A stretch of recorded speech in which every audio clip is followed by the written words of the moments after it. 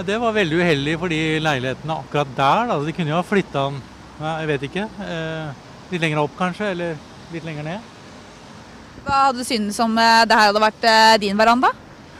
Ja, det har vært skikkelig dårlig. Du er kanskje glad for at det ikke ser sånn ut rett utafor din leilighet? Ja, for det har jeg tenkt på. At jeg, og jeg er en gammel møbelsnekker, så jeg ville ikke satt pris på å ha en sånn da når jeg satte meg ute på balkongen og skulle se ut av vinduet eventuelt. Eh, Du nevnte sånn så vidt her nå at du er jo positiv til eh, bomringen, var det så? Nei, ingen problemer med bomringen.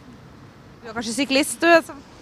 Ja, men altså når man er, bor i byen, så er det jo sykkel og andre transportmidler som må brukes. Bilen er jo skal man jo helst ikke bruke. Nei, men du, Tusen takk.